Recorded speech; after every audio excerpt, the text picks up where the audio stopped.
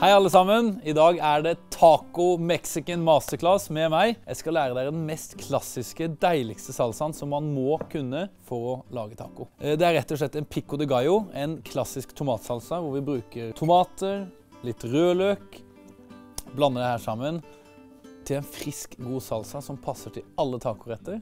Og det kan også selvfølgelig brukes som garnityr til andre retter. Så vi må ha fire tomater, helst plommetomater eller andre tomater med mye god smak i. Så tar vi rett og slett og kutter av den ytterste tuppen, stilken. Så den bare kutter vi og legger til side.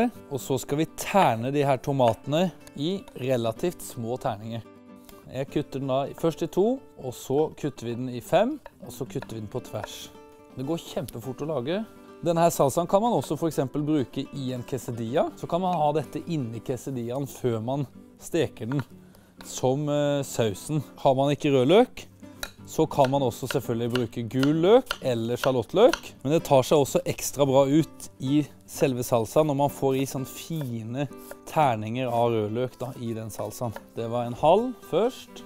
Det skal være godt med løk i.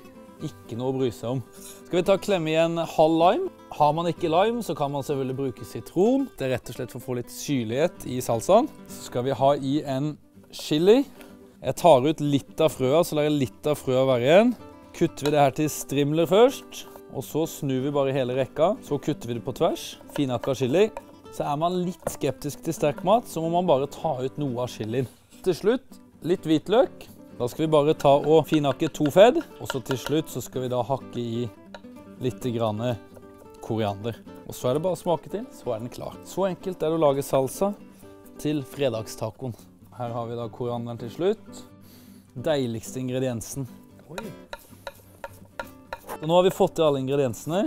Så vi må ha i litt olivenolje. Så skal vi ha i litt salt, litt sukker. Det er ikke mye sukker man må ha. Da må man heller bare smake seg til. Så blander vi det her sammen. Så har man en perfekt, enkel, deilig pico de gallo som passer til alle tacoretter. Enten i eller som tilbud ved siden av. Har du lyst på flere så enkle, gode oppskrifter, så abonner på kanalen. Del med vennene dine på Facebook, Instagram, på YouTube, overalt. Og følg oss, så skal du få masse gode tips framover.